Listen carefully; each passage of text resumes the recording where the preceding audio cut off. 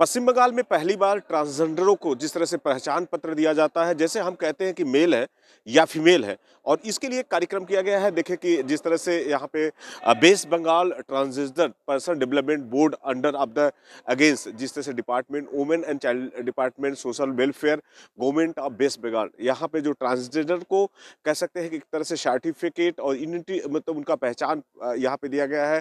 Doctor Shashi पाजा honourable minister के द्वारा तो कह सकते हैं कि जब यहाँ पे पश्चिम बंगाल की तरफ़ से यहाँ पे पुलिस जो है, पुलिस में नौकरियों की वैकेंसी निकली है।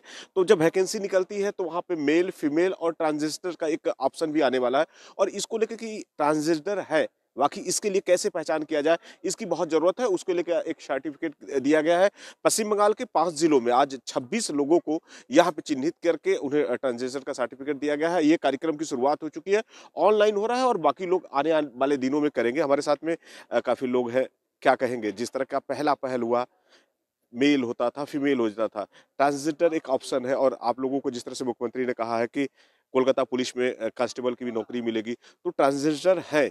इस बात का प्रमाण आप तो बड़े अच्छे से दिखा सकते हैं कि नहीं, भैया हमारा भी पहचान है और हम भी है। तो क्या कहेंगे आज की पहल को लेकर नहीं, ये तो बहुत बड़ी एक बात है, बहुत बड़ी बड़ी सोच है एक्चुअली कि अभी तो मुख्यमंत्री ने एक तो बोर्ड तो हमारा था, लेकिन बहुत दिन से बोर्ड का कोई काम नहीं हो रहा था, लेकिन अभी मुख्यमंत्री के तत्वाधान में और हमारा चेयरपर्सन मैडम सुशी पाजा मंत्री, उनकी देख रेख में जो अभी काम हो रहा है, बढ़िया है और जो अभी आज जो 26 जन को सर्टिफिकेट ऑलरेडी मिल गया है और और और भी सब हमारा ऑनलाइन में सब है क्योंकि हम तो बोर्ड से ये सब करते हैं कर रहे हैं, सब कुछ ऑनलाइन पाइपलाइन में है, सब अभी मिल जाएगा सबको और इस सर्टिफिकेट के दौरान आप लोग बहुत सारा और भी नए नए जो कार्यक्रम है वो देख पाएँगे। में एक तरह से खुशी की लहर है। वाकई जो लोग सर्टिफिकेट पा रहे हैं और उनको लग रहा है कि नहीं ये सर्टिफिकेट मिलना चाहिए अब हम गौरव से कह सकते हैं कि हम भी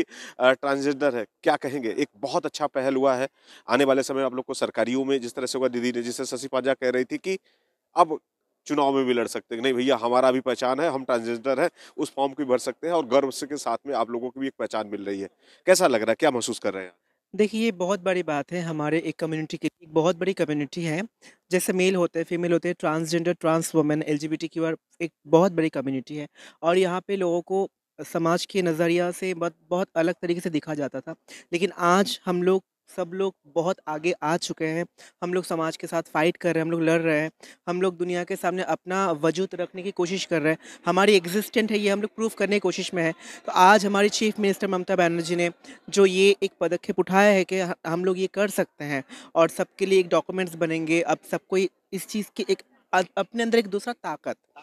Yes. वाकई देखिए कह सकते हैं कि जिस तरह से एक तरह से ट्रांसजेंडरों में खुशी की लहर और पश्चिम बंगाल सरकार ने आज पश्चिम बंगाल के पाँच जिलों में 26 लोगों को यहाँ पे सर्टिफिकेट दिया है और आने वाले समय में जिस तरह से कहे कि कोलकाता पुलिस की भर्ती निकलने वाली है, वहाँ पर ट्रांसजेंडरों की भी संख्या रहेगी। तो कैसे ट्रांसजेंडर है या इस बात का प्रमाण देने के लिए अब पश्चिम बंगाल की तरफ़ से सर्टिफिकेट जारी किया गया है। इसको लेकर लगातार जिसने पश्चिम बंगाल के ट्रांसजेंडर है, अप्लाई कर रहे हैं और आज करीबन छब्बीस लोगों को इस पे सर्टिफिकेट दिया गया है पश्चिम बंगाल के पाँच जिलों में।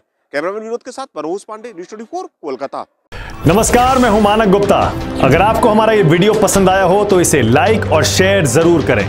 और हाँ हमें सब्सक्राइब और फॉलो करना ना भूलें, ताकि आप देश और दुनिया की कोई खबर मिस ना करें। तो जुड़े रहिए हमारे साथ और देखते रहिए न्यूज़ 24